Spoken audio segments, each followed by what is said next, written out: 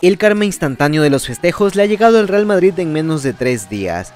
El Villarreal de Quique Setién dio la sorpresa de la jornada en la Liga Española, ganando en un partidazo al Real Madrid con el marcador de 2 a 3. Con doblete de Samuel Chutguese y uno de José Luis Morales, el Villarreal ha sentenciado la liga a favor del Barça, que puede ponerse a 15 puntos en el liderato si gana su partido de este lunes contra el Girona. De esta manera el Real Madrid ha pasado de la gloria al infierno en cuestión de días. Eliminó al Barça por la Copa del Rey clasificándose a la final y en esta jornada de liga ha desechado por completo las pocas chances que tenía por la liga. ¿Recuerdan el famoso día libre de Ancelotti después del partido contra el Barça? tercero, oye. ¡Día libre mañana!